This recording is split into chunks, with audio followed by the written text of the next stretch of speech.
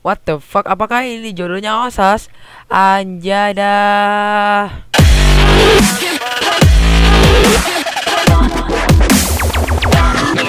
Halo semuanya balik lagi sama gua dari Senom dan kali ini guys gue bakal main di YOM lagi guys gue udah lama gak main di YOM dan misi kita kali ini adalah kisah UVV onyet ah pokoknya itu aja guys lupa diri sama Ucok guys waduh lupa diri dia semenjak dia ke Jerman. Ke Jerman apa ke mana ya? Pokoknya dia jadi rapper. Btw ini misi part 2 nya dari kisah tapi beda autornya. Oke. Okay. Gak seru kalau gak ada si Osas.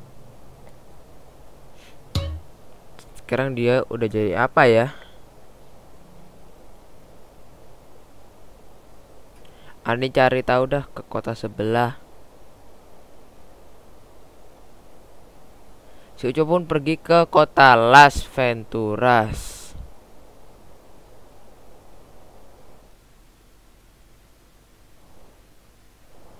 tempatnya si Osos di mana sih? Aneh kangen bener.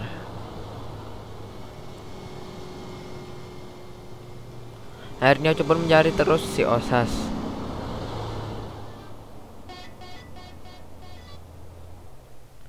Tarik mang. Gila ngarep doang dapat satu miliar. Buset. Akhirnya cara selesai tapi penonton tetap joget. Huf, enak juga jadi rapper.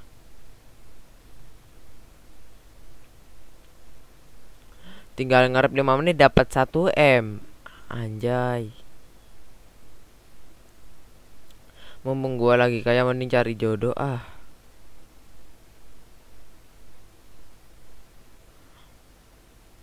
di Bogor gimana ya sih otos mending gua nginep dulu dah di kos-kosan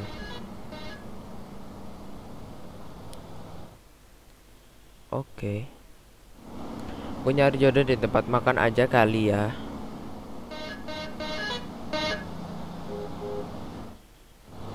naiki mobil seosas. Oke. Okay.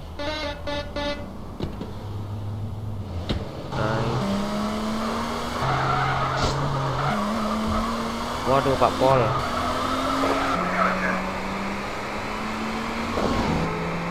Oke oke oke. Es Oke kita belok kanan dan ya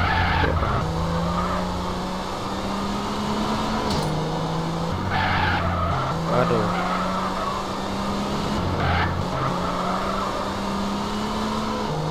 Oke okay.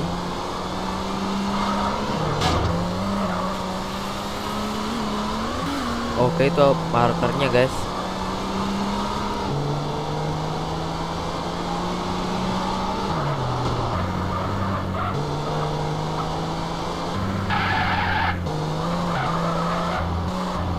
Oke kita ke sini parkir di sini.